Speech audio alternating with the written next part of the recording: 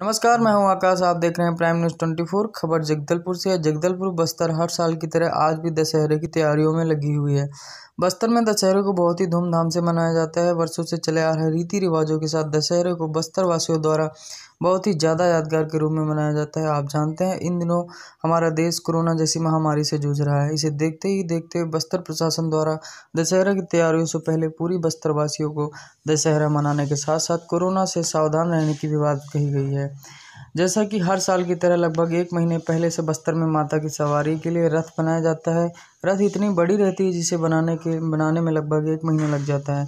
इसे देख बस्तर में माता के भक्तों द्वारा एक महीना पहले से ही लगभग डेढ़ सौ लोगों द्वारा रथ बनाने का काम किया जाता है। इस बार बताया जा रहा है कि कोरोना महामारी को देखते हुए लगभग साठ लोगों से ही रथ बनाया जा रहा है।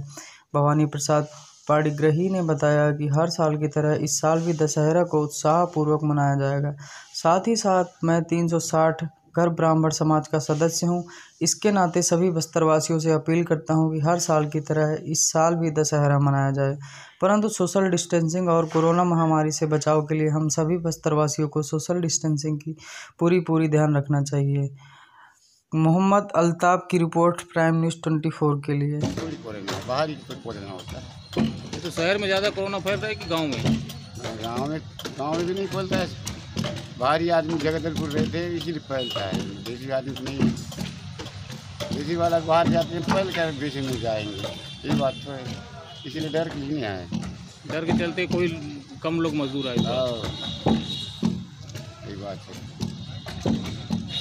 सर, जैसे कि हर साल की तरह इस साल भी कोरोना महामारी को देखने के बावजूद भी आप लोगों ने बस्तर की परंपरा को जारी रखे हैं तो इसमें आप कुछ दो शब्द बोल देंगे। देखिए, ऐसा है, बस्तर का जो दशहरा है, ये विश्व में, ऐतिहासिक विश्व में ऐसा दशहरा नहीं होता जैसा हमारे बस्तर में होता है। और इस दशहरा का को- का जो परंपरा है, उस परंपरा को हमको यथावत रखने के लिए जो है, उसका निर्वहन हमको करना ही पड़ेगा।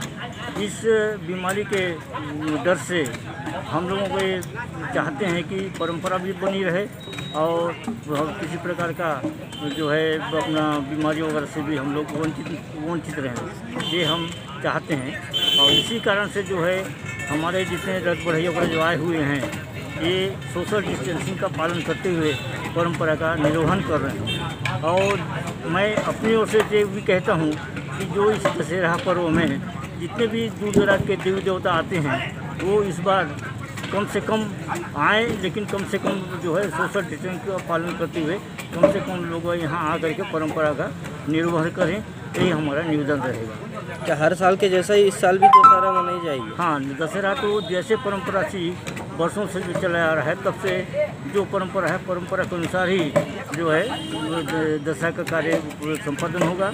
इसमें किसी प्रकार की कोताही जो है, नहीं बरती जाएगी।